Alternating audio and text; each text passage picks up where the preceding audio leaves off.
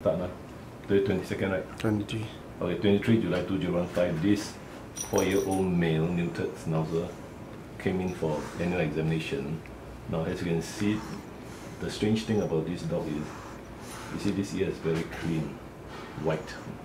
That means there's no scratching, and no scales, nothing. This is a normal ear.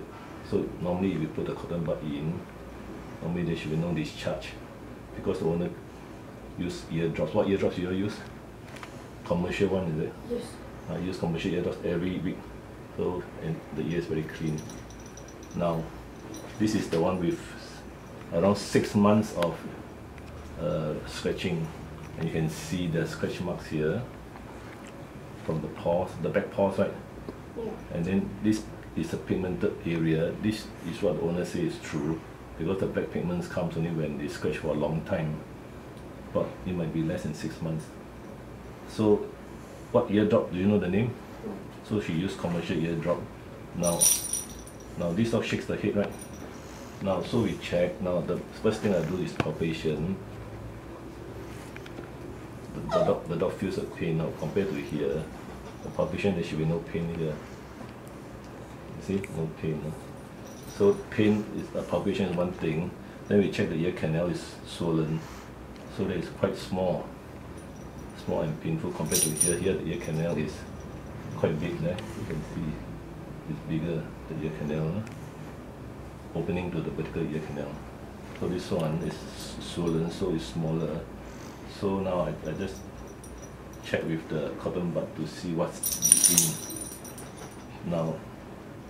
So now dog feels a pain, and uh, there's a yellow, most likely pus, and probably fungus and bacteria.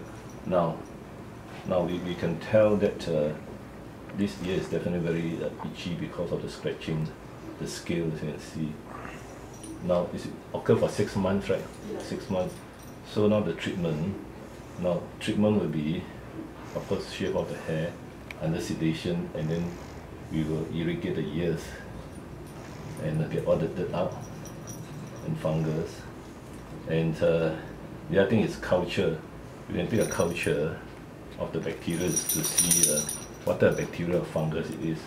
But the, the, the owner would prefer that we just treat first and then uh, with ear ointments and antibiotics and uh, we'll see how it goes for one month.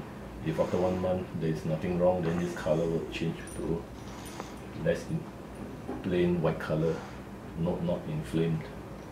So this is the, the way we are going to do irrigation and get rid of anything deep in and then uh, the owner applies a medicated ointment and uh, we will review after one month. Okay.